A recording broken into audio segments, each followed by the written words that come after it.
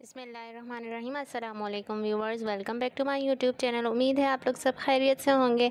आज हम आपके लिए लेकर आए हैं आलमंड कुकीज़ की रेसिपी और मुझे उम्मीद है आप लोगों को ये ज़रूर पसंद आएगी। इसको ज़रूर ट्राई करें। बहुत मज़ेदार से आलमंड कुकीज़ हैं, बिस्किट्स हैं। आप लोगों के बच्चों को बहुत पसंद आएँगे। सॉफ्ट हैं, क्रंची हैं और टी टाइम के लिए तो बेस्ट हैं। तो मुझे उम्मीद है आप मेरी वीडियो को एंड तक ज़रूर देखिएगा और ज़रूर इसको आगे शेयर करेगा और इसको ट्राई करके मुझे कमेंट्स में ज़रूर बताएगा कि आप लोगों के बिस्किट्स कैसे बने और आप लोगों को आज की मेरी वीडियो ये कैसी लगी। तो चलिए स्टार्ट करते हैं। सबसे पहले मैं आपको इंग्रेडिएंट्स बता देती हूँ। यहाँ मैंने लिया है मैदा। तकरीबन ये मैंने आधा किलो मैदा लिया है 500 ग्राम। और ये मैंने लिया है पाँच पाँच सौ ग्राम जो है आइसिंग शुगर। नॉर्मल शुगर को आप पीस के यूज़ कर सकते हैं। अच्छा जी, ये हमारे पास बेसन है, सौ ग्राम और ये मैंने 100 ग्राम बादाम को रोस्ट करके और इसको हल्के से तेल में रोस्ट किया और इसको क्रश कर लिया। इसी के साथ वन टीस्पून इसमें बेकिंग पाउडर और वन टीस्पून जाएगा इसमें बेकिंग सोडा। और मिल्क जो है हम गूंदने के लिए यूज़ करेंगे तो वो जितना हमें चाहिए होगा गूंदने के लिए उस हिसाब से जाएगा। तो सबसे पहले तमाम सूखे इंग्रेडिएंट्स जो हैं, मैदा, चीनी और बेसन को हम अच्छी तरह हाथ से की मदद से मिक्स कर लेंगे। अच्छा जी, इसमें कोई बीटर कोई किसी चीज़ की ज़रूरत नहीं है और अगर आप लोग को कम क्वांटिटी में बनाना चाह रहे हैं तो आप इसकी क्वांटिटी को आधी भी कर सकते हैं। जिस तरह मैंने 500 ग्राम मैदा लिया है, आप 250 ग्राम मैदा ले सकते हैं। अच्छा जी, ये हमारे पास है 300 ग्राम घी। इसको मैंने मेल्ट कर लिया था सबसे पहले घी को और फिर मैंने इसको ठंडा करके फ्रिज में रख दिया था।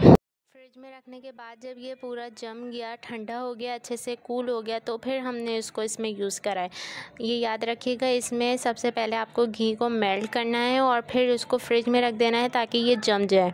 इस तरह हमने घी को इस्तेमाल करना है डायरेक्ट घी को इस्तेमाल नहीं करना। अच्छे से हम इसको घी में मिक्स कर लेंगे तमाम इंग्रेडिएंट्स को हाथ की मदद से। हमारा हाथ ही सबसे बड़ा अच्छा स्पेक्चुला है तो हमें कोई स्पेक्चुला या कोई बीटर की ज़रूरत नहीं है। अब हमने इसके अंदर वन टीस्पून बेकिंग पाउडर और वन टीस्पून बेकिंग सोडा शामिल कर दिया है और इसको हम अच्छी तरह से मिक्स कर लेंगे ताकि तमाम इंग्रेडिएंट्स हमारे अच्छी तरह से मिक्स हो जाएँ। और ये मैंने क्रश बादाम है, वो भी इसके अंदर मिक्स कर दिए हैं। अगर आप बादाम की क्वांटिटी को और बढ़ाना चाहें तो बढ़ा सकते हैं। यहाँ मैंने 100 ग्राम लिए हैं। आप 200 ग्राम करना चाहें तो 200 ग्राम कर सकते हैं। अच्छा जी, इन तमाम इंग्रेडिएंट्स को अच्छी तरह मिक्स करने के बाद हम इसकी गूंदने के प्रोसेस पर आएँगे। इसकी डो बनाएँगे। तो मिल्क हमने लिया है गूंदने के लिए। पानी से नहीं गूंदेंगे। हम इसको दूध से गूंदेंगे। अच्छी तरह से इसको मिक्स करना है। और इसको एक डो की शक्ल दे देनी है। अच्छा इसको रोटी के आटे की तरह हमने वैसे नहीं गूंदना है। इसको आप देख सकते हैं मैं किस तरह से गूंद रही हूँ। थोड़ा थोड़ा दूध ऐड करते जाना है और इसको अच्छे से एक डो की लुक दे देनी है और आपने अपने हाथों में इसको चेक कर लेना है कि आपकी ग्रिप जो है वो अच्छी आ रही है। मतलब आपके बिस्किट जो हैं वो अच्छे से बन जाएँगे तो ये रेडी हो चुका है फिर। ये देखें, मेरी डो जो है वो बिल्कुल रेडी हो चुकी है।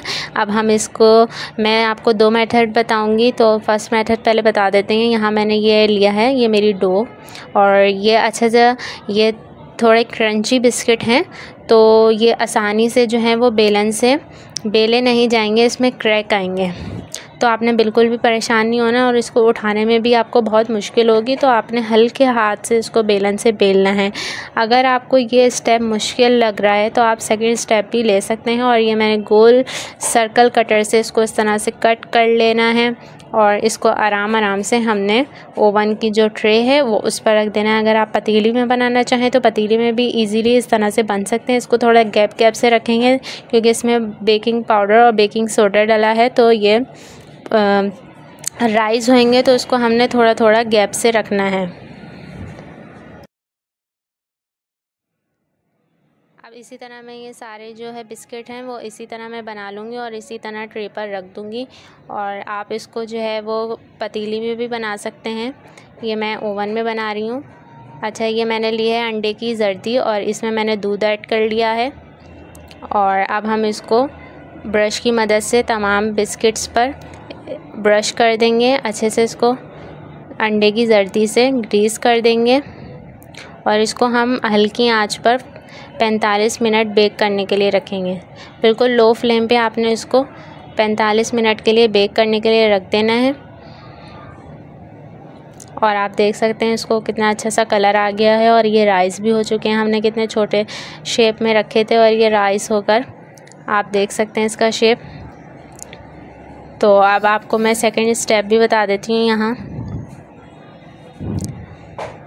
सेकंड मेथड में आपने इसको छोटे से पेड़ की तरह लेना है और इसको गोल सर्कल में कर लेना है और इसको हम हल्का सा प्रेस करेंगे बिस्किट की शेप में और इस तरह से इसको रख देंगे। जिस तरह नान खताई या पेड़ा हम छोटा बनाते हैं, इस तरह से आपने बना लेना है छोटा सा। और इसको इस तरह से रख देना है। जिस साइज़ का आपको चाहिए, उस साइज़ का आप बना लें। ये साइज़ भी बहुत बड़ा है। आप देखेगा राइज़ होकर ये फैल जाएँगे। इसको भी हम लो फ्लेम पे 45 मिनट के लिए बेक करने के लिए रख देंगे। पतीली में भी आपने हल्की आँच पे उसको 45 मिनट ही बेक करना है। अच्छा जी, आप देख सकते हैं, इसका लुक अलग है, उसका लुक अलग था।